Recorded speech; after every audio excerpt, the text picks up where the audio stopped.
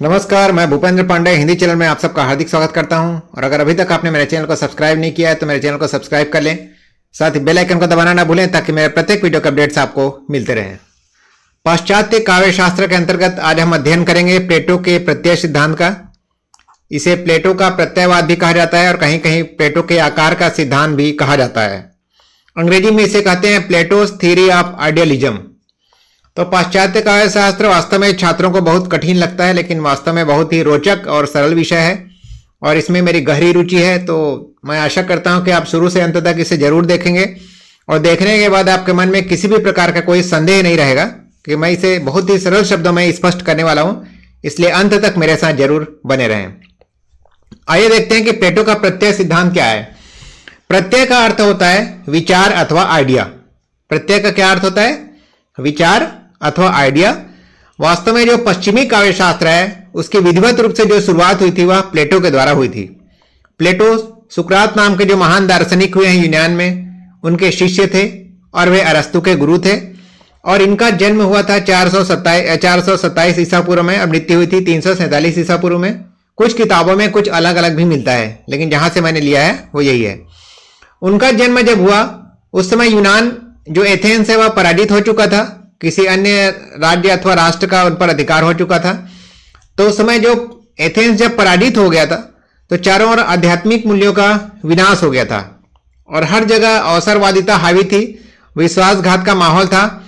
और ऐसे समय में अधिकांश लोग ऐसे थे जो दास थे और जिनकी जो पीड़ा थी बहुत ही गहरी थी। जैसे जब भारत परतंत्र था तो भारत की जो स्थिति थी, लगभग वैसी स्थिति उस समय यूनान की थी। और आपको मालूम है कि जब भारत परतंत्र था तो बहुत सारे महापुरुष पैदा हुए थे उस समय। मतलब ठीक इसी प्रकार, यूनान में भी जब लोगों को यह लगने लगा कि इस राष्ट्र के निर्माण में हमने अपना तन, मन, धन सब लगा दिया है, इसके बावजूद भी हमको सामान्य से नागरिक अधिकार नहीं मिल पा रहे हैं। जीवन का जो अधिकार है, सामान्य जो नागरिकों का जो अधिकार होता है अपने राष्ट्र में, उन अधिकारों से वे वंचित हो चुके थे और प्रजातंत्र वहाँ पर सही ढंग से लागू नहीं हो पाई थी। और वहाँ जो व्यापारियों का बोलबाला था और कुछ कुलीन व्यक्ति थे कुलीन व्यक्ति थे जो उच्च घराने से संबंध रखते थे। उनका ही पूरे राष्ट्र पर कब्जा था। इसलिए अधिकांश विद्वानों का यह मानना है कि प्लेटो जो एक आदर्शवादी विचारक हैं, जो प्रत्ययवादी विचारक हैं, उनकी जो प्रतिक्रिया है, उनका जो आदर्शवाद है और जो आदर्श गणराज्य की स्थापना के संबंध में उन्होंने अपने रिपब्लिक नामक ग्रंथ में जो वर्णन किया है, वह मुख्य रूप से उस समय जो सामाजिक माहौल था, उसी पतन की प्रक्रिया का परिणाम था। यह आप समझ गए होंगे कि मतलब प्लेटो का जो आदर्शवाद है, वह है आदर्श गणराज्य की स्थापना का उनका स्वप्न है, जिसमें कवियों के लिए कोई जगह नहीं है। वास्तव में प्लेटो ने काव्य और कला को नैतिकता के आधार पर और उसके आदर्शों के आधार पर, उन मूल्यों के आधार पर जो समाज को ऊँचा उठाते हैं, लोगों की सोच को ऊँचा ऊँचा उठाते हैं या कला अथवा काव्य की उपयोगिता क्या है? इस दृष्टिकोण से देखा।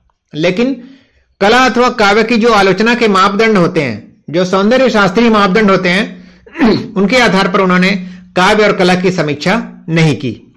तो यह उनके, उनका यह कमी है।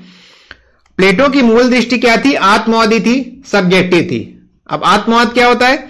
आत्मवाद मतलब आत्मा और परमात्मा के संबंध में अध्ययन करना। अथवा केवल आत्मा को ही अविनाशी और अक्षुण और अखंड मानना, बाकी चीज़ों को नश्वर मानना। या प्रत्ययवादी थी? प्रत्ययवाद एटलिस्ट मतलब जो विचार है, वही सत्य है, वही अखंड है। और उनके मत से यह जो विश्व है और ये जो हमारा जो दृष्टिगोचर जगत है, जिस संसार में हम रहते हैं, वह वास्तव में परमात्मा का जो विचार है, परमात्मा के मन में विराट चेतना के मन में जो विचार है, उस रूप में यह स्थित है। मतलब यह जो पूरा संसार जिसमें हम रहते हैं वह वास्तव में परमात्मा के विचार का क्या है? अनुकरण है।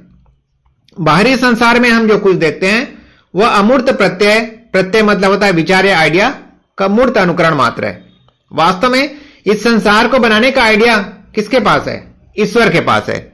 और उस आइडिया के आधार पर क्या है? इस संसार की रचना हुई है। तो यह जो संसार है, यह क्या है? उस आइडिया का अनुकरण है। इसे आप ऐसे समझ सकते हैं, जैसे कि आप घर बनवा रहे हैं आर्किटेक्ट ने आपको नक्शा बनाकर दे दिया। तो आर्किटेक्ट क्या हो गया? ईश्वर हो गया क्योंकि उसने नक्शा बनाकर दे दिया और उसने उसको दे दिया ठेकेदार को। अब ठेकेदार उस नक्शा के आधार पर आपका मकान बनाकर दे देता है तो वह उसका अनुकरण करता है। तो ठीक इसी प्रकार की बात है। अब यह जो कविता है, काव्य के संबंध में उन्होंने विचार व्यक्त किया है। कविता बाहरी संसार से सामग्री ग्रहण करती है और इस सामग्री को संशोधित और संपादित करके हमारे समक्ष प्रस्तुत करती है। इसलिए वह अनुकरण का अनुकरण होने के कारण सामान्य रूप से ग्रहण नहीं की जा सकती। ग्रहण करने योग्य नहीं है। इसे आप ऐसे समझिए। जो ईश्वर है, ईश्वर के विचारों के आधार पर इस सृष्टि की रचना हुई। कहीं नदी बह रही है, सुंदर प्राकृतिक दृश्य है, अच्छी अच्छी बातें हैं, उनको देखकर कोई कवि कविता लिखता है। तो वास्तव में वह नकल का नकल करता है। क्योंकि यह जो सृष्टि है, सृष्टि को जो विचार है, उसके जन्म जाता है ईश्वर, और यही ओरिजिनल है। और इसको देखकर जो सृष्टि की रचना हुई है, यह डुप्लीकेट है, अनुकरण है। अब उस सृष्टि को देखकर यदि कोई कवि लिखता है, कविता लिखता है, यदि कोई चित्रकार किसी प्राकृतिक दृश्य को देखकर चित्र बनाता है, कोई कवि प्राकृतिक दृश्य को देखकर कविता लिखता है तो यह नकल का नकल है अथवा अनुकरण का अनुकरण है। इसे आप इस तरह भी समझ सकते हैं। जैसे आपके पास कोई किताब है, आपके पास ओरिजिनल किताब है, आचार्य रामचंद्र शुक्ल की। आपका मित्र एक दिन आपके घर आता है, बोलता है, भाई, मुझे ये किताब है क्या? आचार्य रामचंद्र शुक्ल की हिंदी साहित्य के इतिहास। आप बोलेंगे हाँ मेरे पास है। तो बोलेगा, मैं इसको फ़ोटो कॉपी करा लेता हूँ। अब वो दोस्त फ़ोटो कॉपी करा के चल दिया। अब वो जो फ़ोटो कॉपी करा के जो दोस्त गया है, उसके पास कोई तीसरा दोस्त आता है। वो भी पूछता है, भाई, ये किताब है क्या? आचार्य रामचंद्र शुक्ल का हिंदी साहित्य का इतिहास। बोलेगा, भाई ओरिजिनल किताब तो नहीं है, लेकिन मेरे पास फ़ोटो कॉपी ज़रूर है। तो बोलेगा, इस फ़ोटो कॉपी से ही फ़ोटो कॉपी करा लेता हूँ मैं। अब ये तीसरी कॉपी है ये। इस प्रकार जो विचार है, उसका मूर्त रूप क्या होता है? प्रकृति होता है यह संसार होता है। और इस संसार को देखकर कोई कवि कविता लिखता है, या चित्रकार चित्रकारी करता है तो वह सत्य से तीन गुना दूर हो जाता है, अर्थात वह फ़ोटो कॉपी का फ़ोटो कॉपी करवा लेता है। अब आप समझ गए होंगे, मैं कहना क्या चाहता हूँ, बहुत ही सरल शब्दों मैंने आपको समझा दिया है। इसके बाद भी कोई डाउट है तो आप कमेंट बॉक्स में कमेंट लिखकर मुझसे पूछ सकते हैं। प्लेटो के मत से कविता में क्या नहीं होता? कविता में कोई वैज्ञानिकता नहीं होती, कोई तर्क सिद्धता नहीं होती, और गहरी मानवीय सामाजिकता का अभाव होता है। उनका कहना है, कोई कवि जब कविता लिखता है तो वह भावुक होकर, भावावेश में, उन्माद के क्षणों में कविता लिखता है। अर्थात, कविता में तर्क और बुद्धि की भूमिका बिल्कुल नगण्य होती है, सिर्फ़ भावों की भूमिका होती है, और उसमें किसी का कोई उत्थान नहीं होता, सामाजिक उत्थान नहीं होता, कविता नैतिक नहीं होती है। अर्थात प्लेटो के जो संपूर्ण चिंतन का जो आधार है, वह दो बातों पर टिका हुआ है। एक तो है नैतिकता, और दूसरा है आदर्श राज्य का निर्माण। और उनके कला संबंधी उन्होंने जो भी विचार व्यक्त किए हैं, उसमें आदर्श नागरिक के निर्माण की चिंता को ही, उनके, उसके संबंध में जो चिंता है, उसको ही व्यक्त करते हैं। अर्थात, प्लेटो का यह कहना है कि कला अथवा काव्य ऐसा होना चाहिए, जो लोगों की नैतिकता में वृद्धि करे, उनका उत्थान करे। है ना? समाज का उत्थान करे, समाज के लिए उपयोगी हो।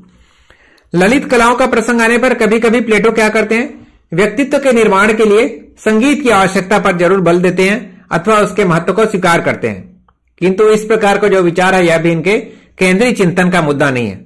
अब ललित कला के अंतर्गत क्या क्या आते हैं? जो नृत्य है, संगीत है, चित्रकारी है, ये सारी चीज़ें आती है ललित कला के अंतर्गत। तो ललित कला में उन्होंने सिर्फ़ संगीत को ही महत्व दिया है।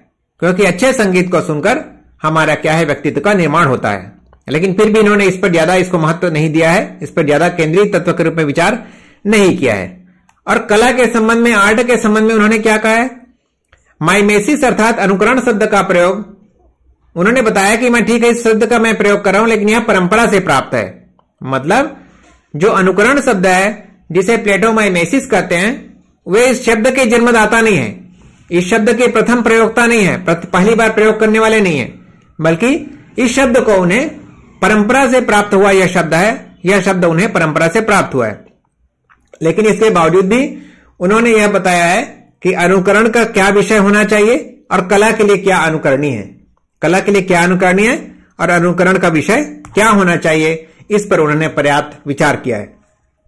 अब प्लेटो ने जो अनुकरण शब्द का जो प्रयोग किया है, वो दो संदर्भों में किया है। पहला तो है, विचार जगत और गोचर जगत के बीच क्या संबंध है इसकी व्याख्या करिए। विचार जगत क्या है? विचार जगत वह है जो परमात्मा के मन में विद्यमान है, जिसके जन्मदाता परमात्मा है और यह विचार जगत ही, यह आइडिया ही परम सत्य है, अक्षुण्य है, अक्षुण है, नित्य है अनस्वर है, हमेशा विद्यमान रहने वाला है।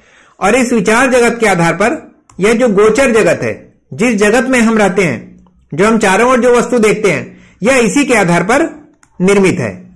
विचार जगत के आधार पर आइडिया के आधार पर यह गोचर जगत निर्मित है।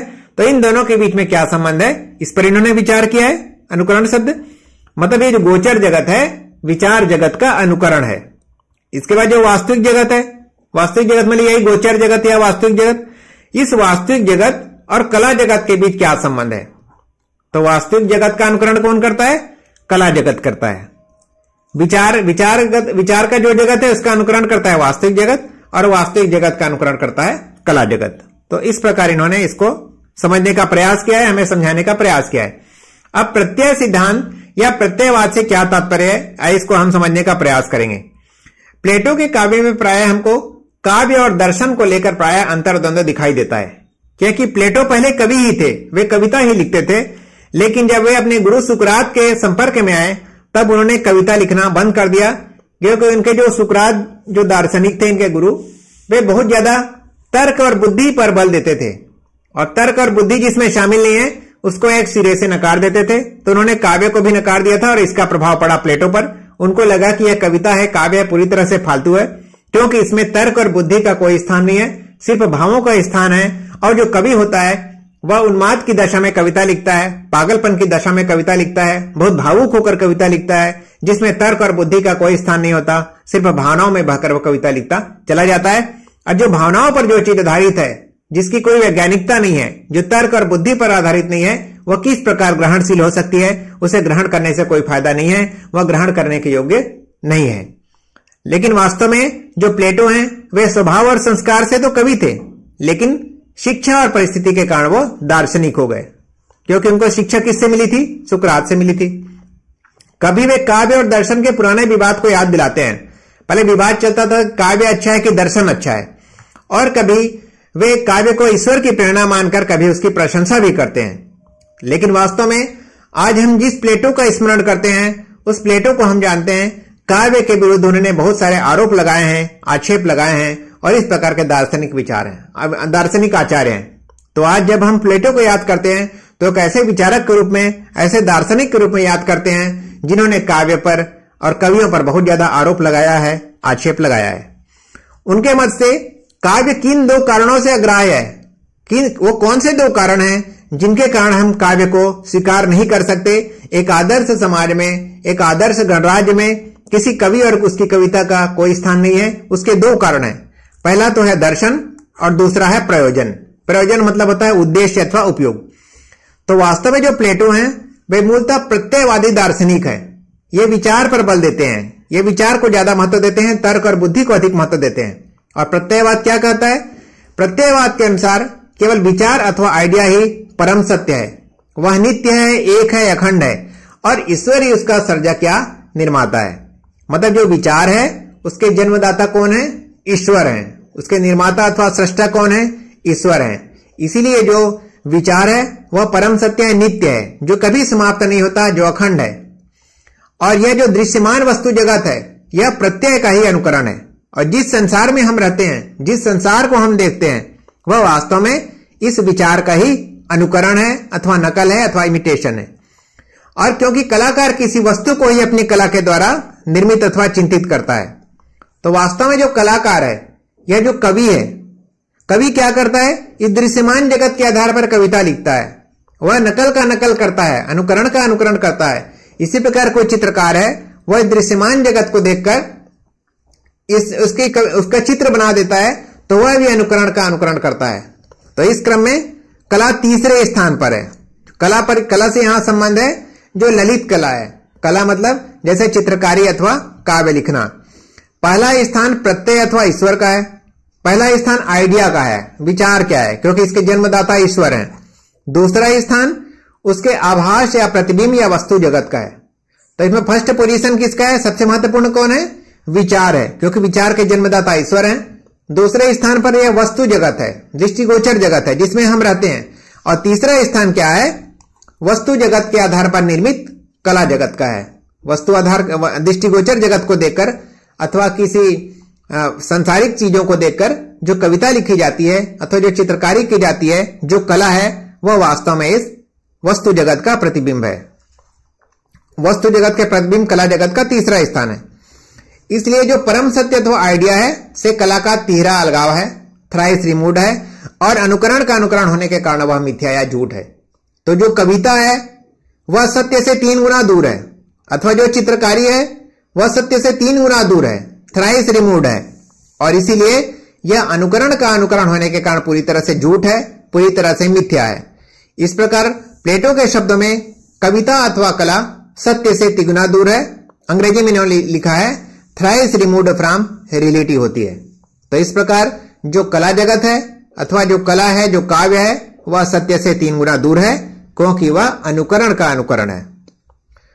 तो इस प्रकार इस सैद्धांतिक कथन को प्लेटो अपने उदाहरण द्वारा स्पष्ट करते हैं और उनका कहना है कि प्रत्येक वस्तु का एक नित्य अथवा परमानेंट रूप होता है। यह प्रत्यय विचार के रूप में निहित होता है। वास्तव में जब हम कोई वस्तु का निर्माण करते हैं तो इस वस्तु का जो विचार होता है, उसके जन्मदाता है ईश्वर। और उस आइडिया के आधार पर, उस विचार के आधार पर कोई वस्तु का निर्माण होता है। और इस विचार अथवा प्रत्यय आइडिया में मौजूद उसी रूप के आधार पर किसी वस्तु का निर्माण होता है। जैसे कि ताजमहल का निर्माण हुआ होगा। तो ताजमहल का जो विचार है वास्तव में उसके जन्मदाता कौन है? ईश्वर है। प्लेटो के अनुसार। और इसको स्पष्ट करने के लिए प्लेटो ने पलंग का उदाहरण दिया।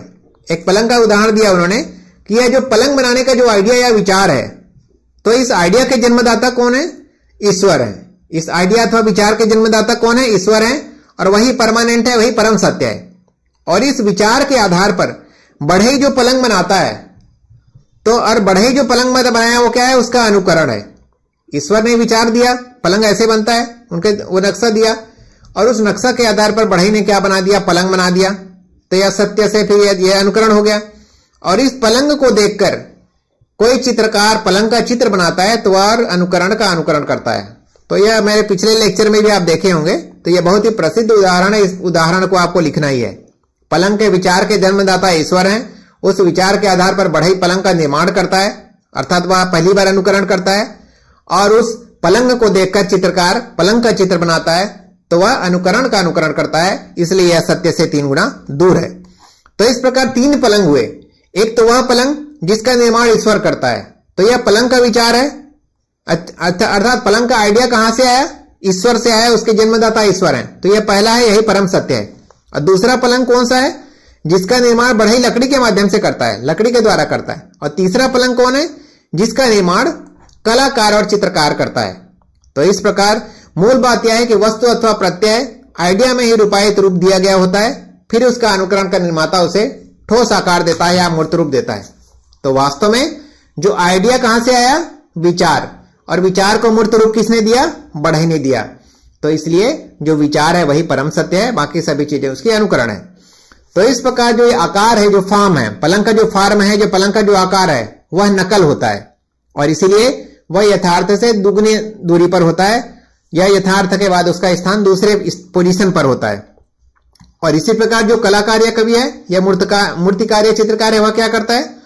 जो कवि होता है, शब्दों के माध्यम से उसे मूर्त रूप देता है, अथवा चित्रकार है, चित्रों के माध्यम से मूर्त रूप देता है, या फिर जो मूर्तिकार है, वह पत्थरों को छीन पत्थरों को उसके माध्यम से वह चीनी हथौड़े के माध्यम से उसको मूर्त रूप देता है।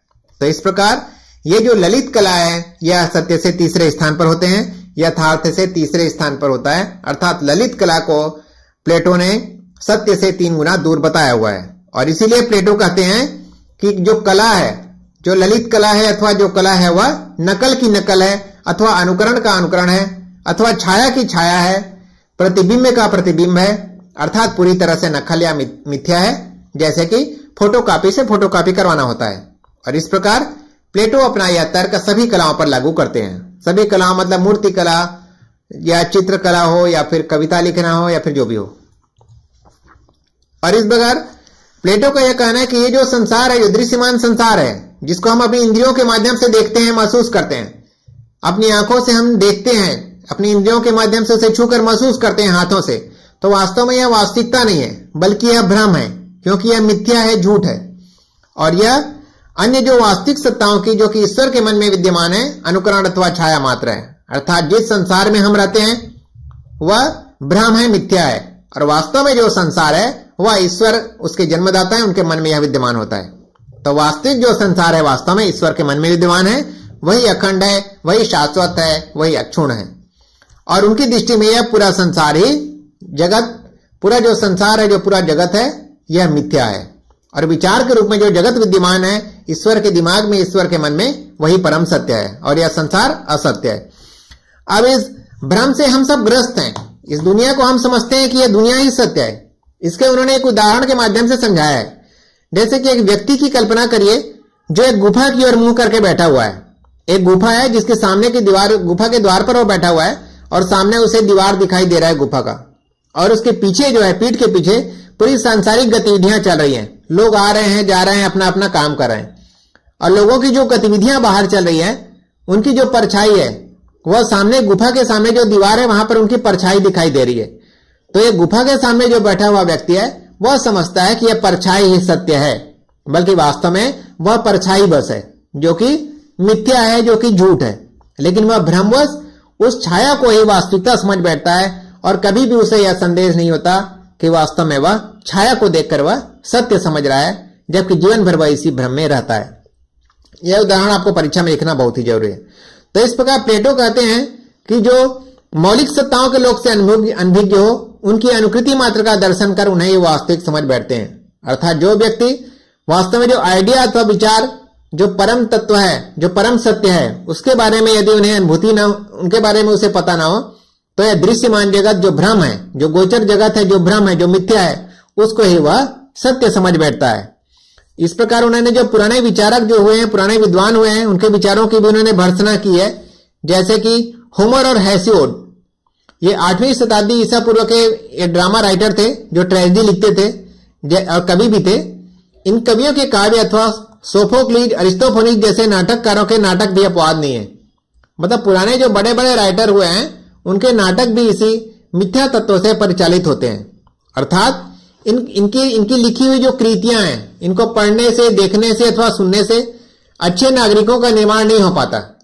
जो कि आदर्श राज्य के लिए ज़रूरी है कि वहाँ के नागरिक भी अच्छे हों, वहाँ के नागरिक नैतिक हों, आदर्शवादी हों। लेकिन इन रचनाओं को पढ़ने से उनके मन में कोई नैतिकता जन्म नहीं लेती। नैतिकतावादी आग्रहों से प्रेरित होकर प्लेटो काव्य और कलाओं की निंदा करते हैं, और उनके तर्क कुछ इस प्रकार है। अर्थात, वे काव्य अथवा कला को नैतिकतावादी दृष्टिकोण से देखते हैं कि काव्य और कला हमेशा नैतिक होनी चाहिए उसे नैतिकता में वृद्धि होनी चाहिए लोगों की। तो इस प्रकार उन्होंने कुछ तर्क दिए हैं काव्य और कला के विरुद्ध। उसकी निंदा करते हैं। पहला उन्होंने कहा है, होमर के महाकाव्यों, इलियड और ओडिसी में देवताओं का चरित्र असत्य भी है और अनुचित भी। ये बड़े बड़े राइटर हुए हैं। होमर के जो महाकाव्य हुए हैं, इलियड और ओडिसी, इसमें इन्होंने जो देवताओं का चरित्र चित्रण किया है, वह असत्य है और अनुचित भी है। उनमें देवत्व तो कहाँ है? और देवत्व तो नहीं है तो मनुष्य के उन्नयन में सहायक नहीं हो सकते। अर्थात इलियड और ओडिसी में होमर ने जिन देवताओं का वर्णन किया है, उनमें देवत्व तो जैसा कुछ नहीं है। तो इनको पढ़ने अथवा देखने अथवा सुनने पर लोगों में कोई देवत्व का निर्माण नहीं होगा, इसलिए वह लोगों के उन्नयन में, उनके उत्थान में सहायक नहीं होंगे। इसी प्रकार, होमर और हैसियोड नाम के दो बड़े पोएट हुए हैं। इनके काव्य में प्राय ऐसे ऐसे स्थान आते हैं ऐसे ऐसी ऐसी पंक्तियाँ आती हैं जो पाठक को वीर और साहसी के बजाय दुर्बल और कायर बना देती हैं, लोगों को भावुक बना देती है। काव्य तो ऐसा होना चाहिए, जो नवयुवकों में शौर्य की भावना भरे, उनके चरित्र का निर्माण करे और उन्हें मृत्यु के लिए तैयार किया करे। मतलब जो भावुक जो कविता है, जिसको पढ़कर लोग बहुत भावुक हो जाते हैं, रोने लगते हैं, इमोशनल हो जाते हैं, ऐसी कविताओं को वो नकार देते हैं एक सिरे से। उनका कहना है, कविता ऐसी होनी चाहिए, जो लोगों में नवयुवकों में देशभक्ति की भावना भरे ताकि वो देश के लिए अपना सर्वस्व निछावर करने के लिए तैयार हो जाएँ, वो उनके चरित्र का निर्माण करे और मृत्यु की लालसा के लिए, अपने राष्ट्र के लिए, अपने जीवन का बलिदान देने के लिए जो उन्हें तैयार करे। इसलिए प्लेटो का जो प्रसिद्ध कथन है, वह है दास्तता मृत्यु से भी बुरी चीज़ है। जो रिपब्लिक में इन्होंने कहा है दास्तता मृत्यु से भी बुरी चीज़ है, क्योंकि जिस समय इनका जो समय है, उस समय जो एथेंस है अथवा यूनान है, वह किसी का दास था, अर्थात किसी का गुलाम था, गुलाम राष्ट्र। प्राय कभी भोग और विलास की कामना से भरकर आवेशपूर्ण काम, कामुकतापूर्ण भावों की सृष्टि करते हैं। इससे शुद्धता और संयम में बाधा पड़ती है तथा चरित्रहीनता भोग लिप्सा और अराजकता फैलती है। उनका कहना है कि जब कोई कभी भावुक होकर भावना में भरकर अर्थात वो उन्माद की स्थिति में पागलपूर्ण जैसे मतलब पागल जैसी स्थिति में जब वो लिखना चालू करता है भावों में बहकर लिखना चालू करता है आवेश की दशा में उन्माद की दशा में तो इससे क्या होता है? हमारी कामुक भावनाओं को और सेक्सुअल डिज़ायर को बढ़ा देते हैं और इससे लोगों के शुद्धता और संयम में बाधा पड़ती है और चरित्रहीनता में वृद्धि होती है, भोग और लिप्सा में वृद्धि होती है और अराजकता फैलता है संसार में। इसी प्रकार होमर के काव्य में ऐसी कहानियाँ भरी पड़ी हैं। होमर जो बहुत बड़े राइटर हुए हैं पोएट हुए हैं तो इनके काव्य में ऐसी बहुत सारी कहानियाँ हैं, जिनमें जो दुष्ट व्यक्ति को सुख पाते हुए दिखाया गया है और जो सज्जन व्यक्ति हैं, वो दुख पाते हुए दिखाई गए दिखाया गया तो वास्तव में आज भी ऐसे ही होता है, जब हम देखते हैं कोई व्यक्ति बहुत पापी है, दुराचारी है, वह बहुत ही सुख से रह रहा है बड़े बड़े पदों पर बैठा हुआ है, लेकिन वास्तव में जो व्यक्ति सच्चाई के रास्ते पर है, ईमानदारी के रास्ते पर है, वह दुख भोग रहा है। तो जब ऐसी चीज़ों को जब काव्य में वर्णन किया जाएगा, ऐसी कहानियों को जब काव्य में स्थान दिया जाएगा तो उससे क्या मिलेगा? तो वहाँ पर सुख तो लोगों के जो कोमल बुद्धि वाले जो बच्चे हैं, उनके मन पर क्या प्रभाव पड़ेगा? उनका मन में तो यही प्रभाव पड़ेगा ना कि हमको भी दुराचारी हो जाना चाहिए। क्योंकि दुराचारी व्यक्ति सुख पा रहा है और जो ईमानदार है अच्छा व्यक्ति है, वह दुख पा रहा है। तो कोमल मन वाले जो बालक हैं, इनके मन पर इससे क्या प्रभाव पड़ेगा? इसी प्रकार जो नाटककार हैं, जो कॉमेडी वगैरह जो लिखते हैं, वे क्या करते हैं? हल्के, ओछे मतलब घटिया टाइप के टुच्चे, हंसोड़, मस्करे, कामुक भावों का चित्रण पसंद करते हैं। और प्राय जो दर्शकों का एक जो वर्ग ऐसा होता है, जो रंगशाला में, थिएटर में ऐसे अभिनयों की दाद भी देता है। तो अभी जैसे आप देख रहे होंगे, क्या बोलते हैं इंस्टाग्राम में आप रील्स देखते होंगे यूट्यूब में रील्स देखते होंगे तो अभी इंस्टाग्राम में आप जो रील्स देखते होंगे तो उनके लाखों फॉलोअर्स होते हैं। और अभी आप देख रहे होंगे, मैं इतनी ईमानदारी से आपको पढ़ा रहा हूँ, बहुत मेहनत करके पढ़ाता हूँ, मेरे आप सब्सक्राइबर देख लीजिए। क्योंकि लोग यहाँ पर कंटेंट की क्वालिटी नहीं, बल्कि क्या देखते हैं? नंबर ऑफ़ सब्सक्राइबर देखते हैं। और नंबर ऑफ़ सब्सक्राइबर के लिए क्या है कि उस लेवल पर जाकर लोगों को एंटरटेन करना। जैसे आप इंस्टाग्राम या फिर यूट्यूब वगैरह में आप देखते होंगे। ठीक वैसी स्थिति वहाँ पर भी थी। तो प्लेटो जो है आदर्शवाद से परिचालित है। प्लेटो का जो विचार है और यदि मेरी बात आपको दिल को छू गई होगी तो मेरे चैनल को ज़रूर सब्सक्राइब कर लीजिए, क्योंकि मैं बहुत ही हाई क्वालिटी का प्रीमियम कंटेंट आप लोगों को लेकर आता हूँ और बहुत मेहनत करता हूँ। और मेरा वादा है कि मैं जो भी कंटेंट आपको पढ़ाऊँगा, आपको समझ में ज़रूर आएगा। यदि आप शुरू से अंत तक देखते हैं तो प्राय मैं आपको पीडीएफ नोट्स भी उपलब्ध कराता हूँ। तो यदि मेरी यह बात आपको समझ में आ गई होगी तो मुझे विश्वास है कि आप इस लेक्चर को देखने के बाद मेरा चैनल सब्सक्राइब करके ही जाएँगे। धन्यवाद। तो उनका कहना क्या है कि जो कॉमेडी के जो राइटर होते हैं तो कॉमेडी में कैसे होते हैं? लोगों को हंसाना है, आप किसी भी लेवल पर जाकर हंसाना है मस्खरा वहाँ पर रहेंगे। और ऐसे लोग भी होते हैं जो थिएटर में जाकर, जो रंगशाला में जाकर वहाँ ताली बजाते हैं कि वाह वाह वाह वाह करते हैं, अभिनय के दाद देते हैं। अर्थात यह होता है कि ऐसे जो नाटककार होते हैं, वे उदात्त भावों से सबलाइन फीलिंग से बहुत ही दूर होते हैं। मतलब जो अच्छे विचार हैं, उनका प्रोत्साहन नहीं देते, उनका वर्णन नहीं करते। इससे समाज में क्या है? ओछे भावों, घटिया भावों का वर्चस्व बढ़ जाता है, उनका बढ़ावा मिल जाता है। छठवा है काव्य या नाटक की अंतर प्रेरणा क्या होती है? भावोच्चलन या भावों के तीव्र आवेग से उत्पन्न होती है। तर्क से नहीं और तर्क न होने के कारण भावावेश हृदय से चालित होता है, बुद्धि से नहीं। इनका मानना है कि जब कोई कवि कविता लिखना शुरू करता है तो वास्तव में उन्माद की अवस्था में होता है और जो काव्य की जो देवी होती है, जिसे वो म्यूज कहते हैं, जैसे हिंदुस्तान में हम कहते हैं, माँ सरस्वती की प्रेरणा से कविता लिखी जाती है।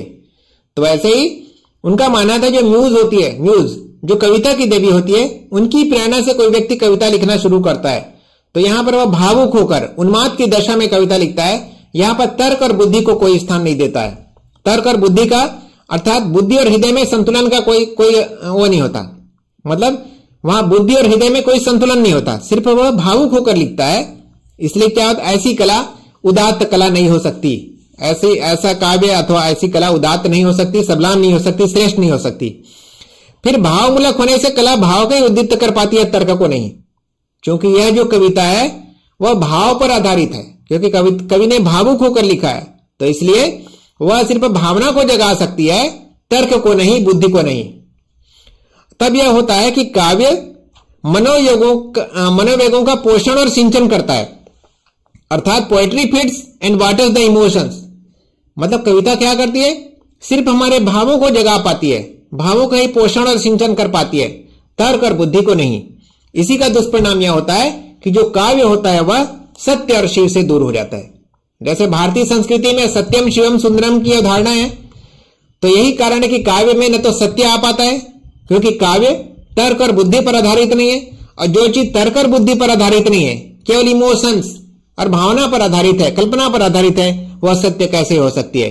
और शिव से भी दूर हो जाता है। शिव का तात्पर्य कल्याणकारी। तो ऐसी कविता न तो इसमें सच्चाई है और न ही यह लोगों के लिए कल्याणकारी है।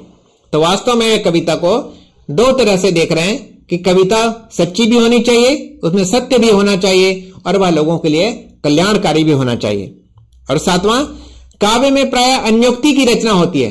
बालकों में इतनी बुद्धि नहीं होती कि वे अन्योक्ति तथा यथार्थ में भेद कर सके। इसलिए बच्चों के सामने शुद्ध और नैतिक विचारों की कहानियाँ आनी चाहिए। असत्य और अनैतिक कल्पनाओं से प्रेरित नहीं। तो इसको आप इस उदाहरण से समझ सकते हैं कि काव्य ऐसा होना चाहिए कि लोगों की नैतिकता में वृद्धि करे। जैसे महाभारत, जो महाकाव्य उसमें आप पढ़ते होंगे, जो माता कुंती है, वह अपने पहले बच्चे को, अर्थात कर्ण को नदी में बहा देती है, क्योंकि वह कुंवारी माँ होती है। तो इस प्रकार सामाजिक दृष्टिकोण से जो बच्चा है, वह अवैध कहा जाएगा, क्योंकि वह कुंवारी माँ का बच्चा है। तो यदि इस टाइप की बातों का हम चित्रण करते हैं काव्य में तो बच्चों के मन में गलत प्रभाव पड़ता है। कि यदि कोई कुंवारी माँ बन गई तो अपने बच्चे को बहा देगी। तो इस तरह है। तो इसीलिए हमको काव्य में अच्छे विचारों को कर, ये सिर्फ़ उदाहरण के मैं आपको बता रहा हूँ, इसको आप किसी धार्मिक उससे जोड़कर न देखें, है ना? जैसे आपने महाभारत पढ़ा होगा या फिर देखा होगा कि कुंती का जो बच्चा होता है, पहला बच्चा जो कर्ण होते हैं तो उनको उनको नदी में बहा देना पड़ता है, क्योंकि शादी के पहले ही वो बच्चा पैदा हो जाता है। अलौकिक तरीके से पैदा होते हैं जैसे भी। तो हमको ऐसी कहानियाँ बच्चों के सामने लेकर आनी चाहिए काव्य में जो क्या हो, नैतिक हो, उनमें नैतिकता की वृद्धि करे, उनमें कुछ गुण दबाए गुण की वृद्धि करे। और नियुक्ति वही है कि दूसरे के माध्यम से कोई दूसरी बात को समझाना। एक अलंकार है ये। इस प्रकार प्लेटो का काव्य, नाटक, विषयक विरोध साहित्य साहित्येतर और नैतिक प्रतिमानों मापदंडों से प्रेरित है। उनके विचार से काव्य सृजन एक प्रकार का ईश्वरीय उन्माद है। कवि उन्मत्त व्यक्ति है मतलब पागल व्यक्ति है। और काव्य देवी म्यूज द्वारा अंतर प्रेरित होकर रचना करता है। तो इस प्रकार जो प्लेटो हैं, वे काव्य और नाटक की आलोचना साहित्य साहित्य साहित्य से इतर मापदंडों के आधार पर करते हैं। साहित्य से इतर मतलब जो नैतिकता है या फिर जो आदर्शवाद है, इसके आधार पर वे कविता अथवा नाटक काव्य उसकी आलोचना करते हैं, उसकी विवेचना, उस पर विचार विमर्श करते हैं। जबकि जो साहित्य के प्रतिमान है, जो साहित्य का सौंदर्य शास्त्र है उसके आधार पर वे इसकी व्याख्या नहीं करते हैं। तो इनके मापदंड नैतिक आधार पर और नैतिक और आदर्शवाद पर आधारित है। और वे कहते हैं, जो काव्य सृजन की जो प्रक्रिया है, ईश्वरीय उन्माद है। मतलब व्यक्ति बिल्कुल आत्ममुग्ध की स्थिति में, आत्ममुग्धता की स्थिति में आ जाता है। मतलब वह बिल्कुल वो हो जाता है। किसी दूसरे शक्ति के अधिकार में आ जाता है। ईश्वरीय शक्ति के अधिकार में, पागलपन की दशा में आ जाता है। इमोशनल हिप्नोटाइज हो जाता है। हिप्नोटाइज वाली स्थिति में आ जाता है। ईश्वरीय उन्माद है। और उसी उन्माद की दशा में जब उसे कोई होश वास नहीं रहता वह कविता लिख देता है, और इसकी प्रेरणा कहाँ से मिलती है उसे? काव्य देवी अथवा म्यूज से मिलती है, जिसे हम भारतीय संस्कृति में माँ सरस्वती कहते हैं। तो इन्हीं की प्रेरणा से कविता की रचना करता है। प्लेटो बार बार इस बात की ओर संकेत करते हैं कि साहित्य में मनुष्य के नैतिक पक्ष को संपन्न, समृद्ध और संतुष्ट करने की शक्ति होनी चाहिए। तो वह इस दृष्टिकोण से कविता को देखते हैं। इस प्रकार जो प्लेटो का जो दृष्टिकोण है, वह केवल नैतिकतावादी ही नहीं है, बल्कि उपयोगितावादी भी है। उनकी दृष्टि में सुंदर वही है, जो सत्य और शिव से संपन्न है। इस प्रकार काव्य और कला को देखने की जो उनकी दृष्टि है, वह न केवल नैतिकतावादी है, बल्कि उपयोगितावादी भी है। अर्थात काव्य केवल सुंदर ही नहीं होना चाहिए, बल्कि वह सत्य पर भी आधारित होना चाहिए, और उसमें शिव अर्थात लोगों के कल्याण करने की भावना भी निहित होनी चाहिए। प्लेटो ने काव्य प्रकृति और काव्य सृजन की प्रक्रिया के साथ साथ काव्य के प्रभाव पर भी गहराई से विचार किया। और रिपब्लिक के दसवें अध्याय में वे कहते हैं कि कविता को सत्य का निम्नतर स्तर का चित्र या वर्णन मानते हैं। वहीं दूसरी ओर, वे कविता को आत्मा के अदम भाग से संबद्ध कर देते हैं। अर्थात जो कविता के प्रति उनका विचार बहुत अच्छे नहीं है, वे कहते हैं जो कविता का संबंध होता है, वह हमारे जो अस्तित्व है उसके अदम भाग से होता है, घटिया भाग से होता है, शुद्ध भाग से नहीं बल्कि अशुद्ध भाग से उसका संबंध होता है। उनके विचार से मानव की आत्मा की प्रकृति दोहरी प्रकृति की होती है। मानव की जो प्रकृति है, उसके दो भाग होते हैं। जिसका प्रथम भाग हम उत्तम भाग कहते हैं, उत्तम भाग का संबंध होता है किससे? बुद्धि से। और जो अधम भाग है, उसमें क्या क्या होते हैं? शोक, क्रोध आदि मनोविकार होते हैं। मतलब उन्होंने कहा है कि जो मानव की आत्मा है, वो दो भागों में विभाजित होती है। शुद्ध शुद्ध भाग में, उत्तम भाग में, जिसमें बुद्धि का वर्चस्व रहता है, और अधम भाग में शोक, क्रोध आदि मनोविकार होते हैं फीलिंग्स होते हैं। इसीलिए काव्य का प्रभाव आत्मा के निम्न स्तर से संबंधित होता है। और जो काव्य का जो संबंध होता है, वह हमारी आत्मा के निम्न वाले स्तर से होती है, अधम भाग से होती है। अब प्लेटो के, प्लेटो का क्या गाना है? अनुकरण धर्मी कवि का उद्देश्य लोकप्रियता प्राप्त करना होता है। किंतु लोकप्रिय होने के लिए वह आत्मा के बौद्धिक पक्ष को संचालित और प्रभावित करके अपने पाठकों को प्रसन्न नहीं करता। बल्कि वह क्या करता है? हमारे फीलिंग्स और इमोशंस को जगा देता है, बढ़ा, बढ़ावा देता है। अर्थात जो कवि होता है, वह किसी का अनुकरण करता है। और वास्तव में उसका उद्देश्य क्या होता है? बहुत लोकप्रिय होना होता है। और लोकप्रिय होने के लिए वह बुद्धि के माध्यम से, तर्क के माध्यम से लोकप्रिय नहीं होना चाहता, बल्कि हमारी भावनाओं को भड़का कर वह लोकप्रिय होना चाहता है। इस प्रकार जो कवि होता है, वह प्रत्येक व्यक्ति की आत्मा में दुष्ट प्रकृति का, गलत प्रकृति का, है ना सेक्सुअल डिजायर्स का बीजारोपण करता है, कामुकता जगाता है, उसको गलत मार्ग पर चलने के लिए प्रेरित करता है। तो दार्शनिक प्लेटो को कविता के विरुद्ध केवल यही शिकायत नहीं थी कि वह आत्मा के असाधु अंश अथवा दुष्ट अंश का पोषण करती है, बल्कि उनका सबसे बड़ी वासना, सबसे बड़ी शिकायत यह थी कि कविता हमारी वासनाओं को भड़काती है, हमारी कामुकता को भड़काती है सेक्सुअल डिजायर्स को जगाती है, और मनुष्य को अनियंत्रित बनाती है, और आचरण भ्रष्ट प्राणी का रूप देती है। तो जैसे आप पुराने कैबरे डांस वगैरह जो देखते होंगे पुरानी फ़िल्मों में, कैबरे जो डांस होता था, अभी बोलते हैं कभी अश्लीलता बहुत बढ़ गई है। लेकिन अभी पुराने आप गाने में देखेंगे, जैसे पिया तू अब तो आ जाए इस टाइप के गाने में तो इस टाइप की जो चीज़ें हैं, इसके वे विरुद्ध है। जब अच्छी कविता का काम हमारी वासनाओं को दूर कर, मन को निर्मल करना और संयमित होना चाहिए। इनका कहना है, जो अच्छी कविता, श्रेष्ठ कविता का उद्देश्य क्या होना चाहिए? हमारे मन से वासनाओं को दूर करे, हमारे मन को निर्मल और शुद्ध करे और हमें संयम के मार्ग पर चलने के लिए बाध्य करे। क्योंकि काव्य ऐसी शक्ति से संपन्न होता है जो भली प्रकृति के व्यक्ति से घातक होती है, अतः प्लेटो कविता को अग्राह्य मानते हैं। तो वास्तव में वे ऐसी कविता को अग्राह्य मानते हैं, जो हमारी भावनाओं को भड़काती है, जो हमारे डिज़ायर को जगाती है। ऐसी कविता अग्राह्य है। अब उनका मानना है कि चाहे त्रासदी हो या कॉमेडी मतलब चाहे ट्रेजडी हो या कॉमेडी हो, प्लेटो का आदर्श क्या था? अच्छे मनुष्य का निर्माण करना ही उनका मुख्य उद्देश्य था। एक ऐसे मनुष्य का निर्माण, जो सुख दुख मूलक सभी प्रकार के संवेदों के दमन पर निर्भर है मतलब जिसको अपने मन पर कंट्रोल है। जो सुख और दुख और अपनी भावनाओं पर जो पूरी तरह से कंट्रोल कर सके। और चूँकि कविता इसके इसके दमन में बाधक है, कविता के माध्यम से हमारी भावनाएँ संयमित नहीं होती, बल्कि भावनाएँ भड़कती हैं। और इसीलिए प्लेटो कहते हैं कि यह अनुकरण इन मनोवेगों को फैलाता है, सिंचता है और पुष्ट करता है, जबकि हमको उन्हें सुखा देना चाहिए, अर्थात नष्ट कर देना चाहिए। यह उनको हमारा शासक बनाकर स्थापित करता है, जबकि उनको तो शासित होना चाहिए। तो उनका कहना है कि जो भी ट्रेजडी है, या फिर जो भी कॉमेडी है, या फिर जो भी पोएट्री है, उसका उद्देश्य क्या होना चाहिए? हमारे मनोविकारों का दमन होना चाहिए। बल्कि, लेकिन ये क्या करते हैं? ये हमारे मनोविकारों को भड़का देते हैं। इनको, इनके ऊपर हमको शासन करना चाहिए, लेकिन ये हमारे ऊपर शासन करते हैं। तो इस प्रकार, पेटो के जो चिंतन है, उसमें एक कवि, एक दार्शनिक के बीच में जो द्वंद्व है, वह हमको महसूस होता है। और, लेकिन इसमें द्वंद्वात्मक एकता भी है। इन्होंने दोनों का विरोध ज़रूर किया है दर्शन और काव्य का लेकिन दोनों का एक पूरक के रूप में भी स्थापित किया है। क्योंकि इन्होंने अपने दर्शन के माध्यम से बताया है कि कविता का उद्देश्य क्या होना चाहिए लक्ष्य क्या होना चाहिए। वस्तुतः कविता दर्शन को चुनौती दे, देती है। और दार्शनिक प्लेटो दर्शन से तुलना करते हुए कविता की आलोचना करते हैं। सच बात यह है कि दर्शन की ओर से कविता को चुनौती देकर प्लेटो ने उसके ऊपर एक गहन दायित्व तो सौंपने का कार्य किया है। तो वास्तव में जो दार्शनिक जो प्लेटो हैं वे केवल कविता की आलोचना नहीं करते बल्कि कविता को, कविता के स्तर को ऊँचा उठाना चाहते हैं और उसे बहुत ही गहन दायित्व तो सौंप रहे हैं कि कविता का निर्माण, समाज का निर्माण करना होना चाहिए। अर्थात लोगों में नैतिकता में, नैतिकता की वृद्धि करना, गुणों की वृद्धि करना, है ना? ये कविता का उद्देश्य और लक्ष्य होना चाहिए। तो इस प्रकार वे कविता को एक बहुत बड़ी ज़िम्मेदारी सौंप रहे हैं, बहुत बड़ा दायित्व तो सौंप रहे हैं। आइए हम देखते हैं निष्कर्ष। आज भी विद्वान प्लेटो द्वारा कविता पर लगाए गए आरोपों से जूझ रहे हैं और उनका सही समाधान उन्हें नहीं मिल रहा है। प्लेटो इतने महान दार्शनिक थे तो ईसा पूर्व तीसरी चौथी शताब्दी में उत्पन्न होने के बाद भी आज भी उनके विचारों पर हम चर्चा कर रहे हैं। आज हम उन पर पढ़ रहे हैं तो यह उनकी महानता का द्योतक है।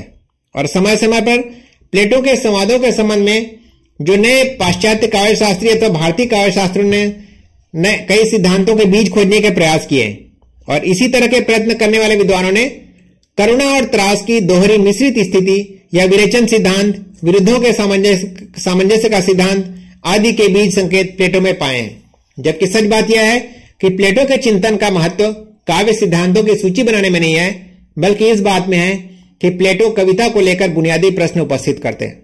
तो प्लेटो का जो चिंतन है, प्लेटो का जो दर्शन है, उसके आधार पर आज बहुत सारे सिद्धांतों ने जन्म ले लिया है।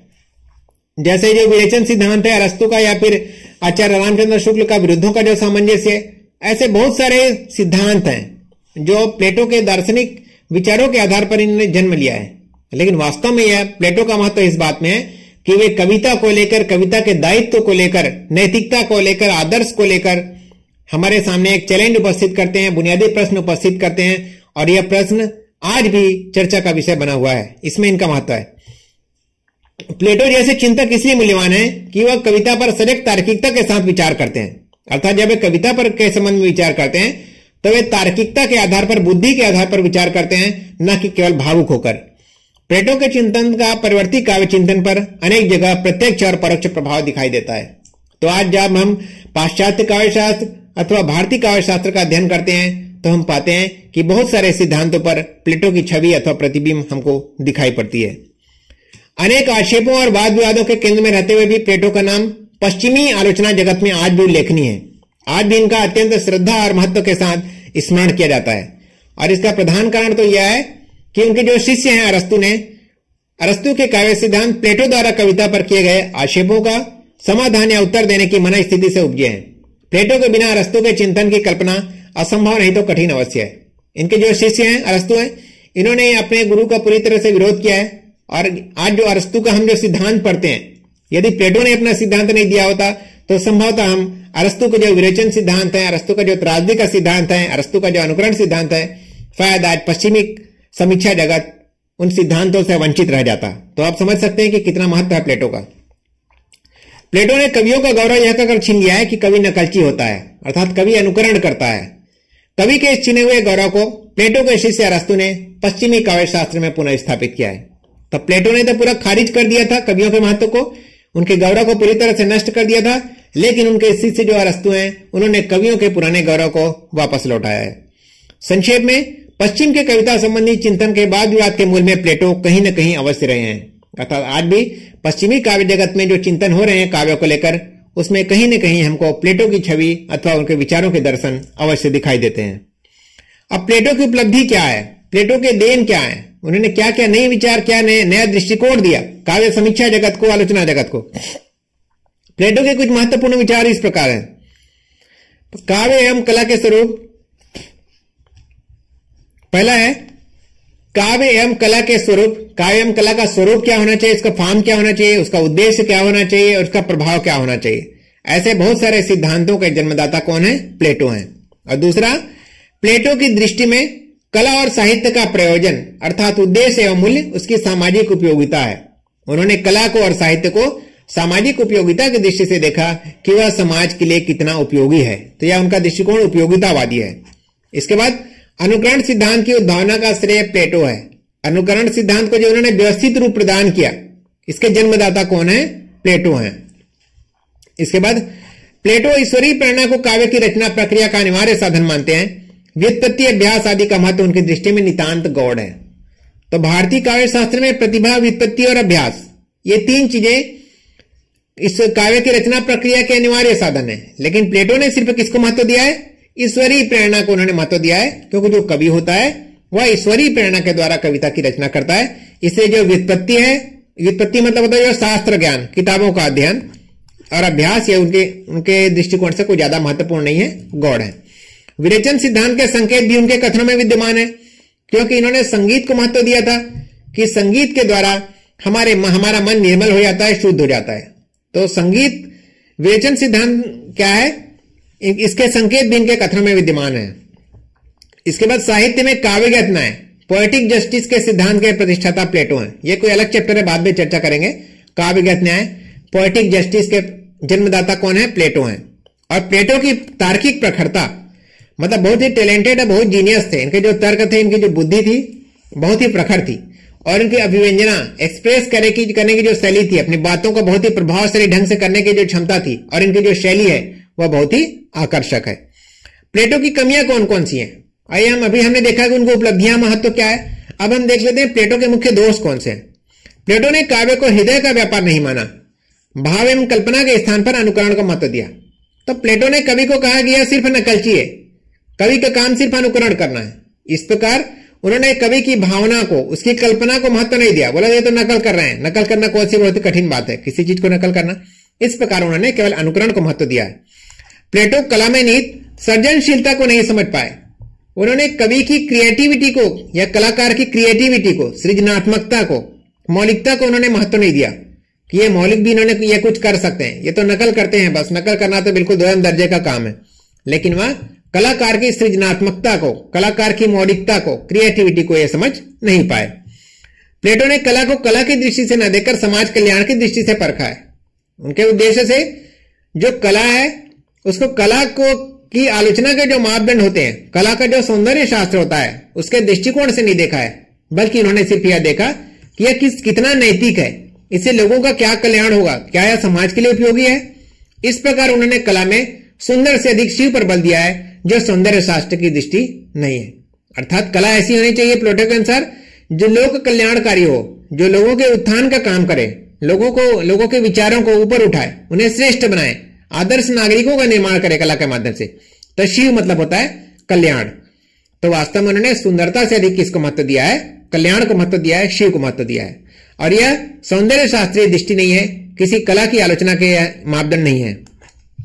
प्लेटो ने दर्शन और काव्य के शाश्वत विरोध की बात कही है, जबकि दर्शन और काव्यालोचन एक दूसरे के विरोधी नहीं, पूरक है। तो प्लेटो के हिसाब से जो दर्शन और काव्य हैं, वे एक दूसरे के विरोधी होते हैं, जबकि वास्तव में जो कला और दर्शन है, वे एक दूसरे के पूरक होते हैं। इसके बाद, प्लेटो के कला विषयक विवेचन में पर्याप्त पुनरुक्ति है। किंतु यह पुनरुक्ति समादों के कारण लेखक की मर्ज़ी से नहीं। तो वास्तव में उन्होंने कोई काव्य शास्त्र सिद्धांत का कोई किताब नहीं लिखा है बल्कि समय समय पर उन्होंने जो भाषण दिया है, जो संवाद हुए हैं, जैसे रिपब्लिक वगैरह जो किताबें लिखी है, उनमें अवसर के हिसाब से उन्होंने बार बार इन चीज़ों का उल्लेख किया है। तो वास्तव में यह संवादों के कारण बार बार ये चीज़ें रिपीट हो जाती है उनके भाषण में या उनकी बातों में, लेकिन वास्तव में यह उनकी मर्ज़ी से नहीं हुई है। तो इस प्रकार आप लोगों ने ये प्लेटो के प्रत्यय सिद्धांत को भली भांति समझ लिया होगा, और यदि आप अंत तक देखेंगे तो निश्चित रूप से आप समझ गए होंगे। यदि आज का मेरा यह लेक्चर आपको अच्छा लगा होगा तो मेरे चैनल को ज़रूर सब्सक्राइब कर लें। साथ ही बेल आइकन को दबाना ना भूलें, ताकि मेरे प्रत्येक वीडियो के अपडेट्स आपको मिलते रहें। साथ ही अपने मित्रों के साथ अधिक से अधिक शेयर करें। धन्यवाद। जय हिंद, जय भारत।